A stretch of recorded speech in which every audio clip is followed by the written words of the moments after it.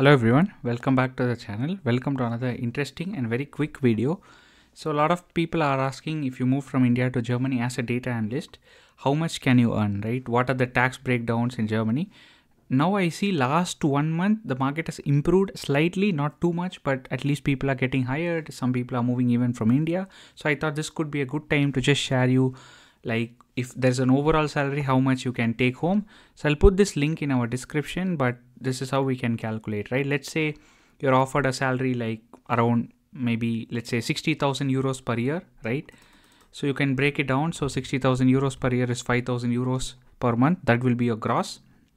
So you can select month or year here. So i select 5000 euro per month um, then let's say you're selected this year i put 2025 so if you have any tax allowance you can claim it later in your tax returns. At the moment i'm putting nothing. If you're moving uh, newly to germany or go, or you're going to start full time for the first time then tax class is uh, is an important thing. There are many tax classes.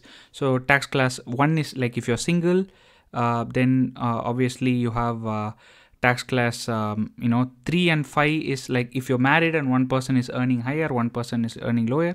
Class 4 is you're married and your partner is also married and obviously both of you have similar salary then that might be a better option right? It depends on a case and then you know there are some other classes like one i think it's like if you're single mother or single father things like that right?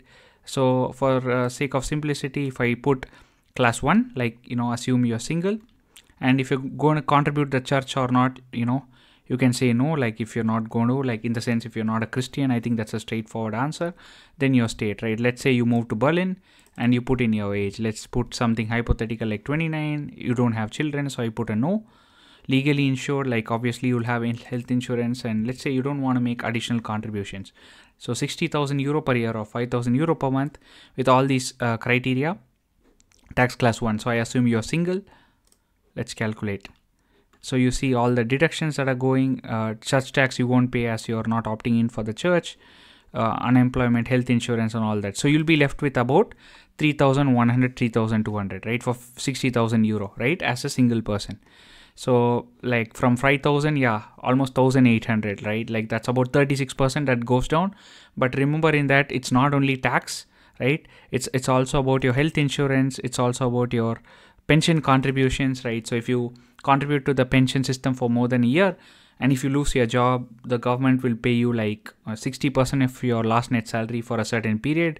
So yeah, it goes into there, right? It doesn't go completely waste or anything. Health insurance, like if you want to go to hospital, most surgeries will be free since you're paying the contribution every month and there's a small unemployment and for long-term nursing care insurance if you get disabled or something this will come into play you won't need to spend a lot of money so yeah, in the end you get 3200 in hand. This is single person 5000 euro, right?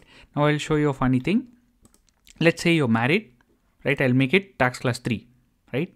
So you're married and let's say you're earning higher than your partner.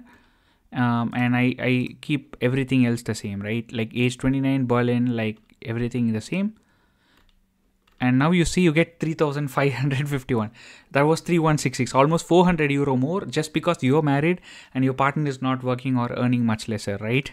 So that's that's a bit funny but yes like definitely yeah like if you're married um, i think germany rewards you with the income tax break so you make like for the same salary like 300 400 euro more. This could be an extra like trip every month for you right? Like something like that or you can use it for your india ticket or going somewhere. That's a funny thing like here it works based on whether you're single married you have kids. If you have kids you also get some other benefits like monthly few hundred euro like 250 300 euro per kid kindergeld and things like that. So keep this in mind. This is how it works. There is deductions but if you're married as you see it's almost 3600 like so you're only losing like 28% overall.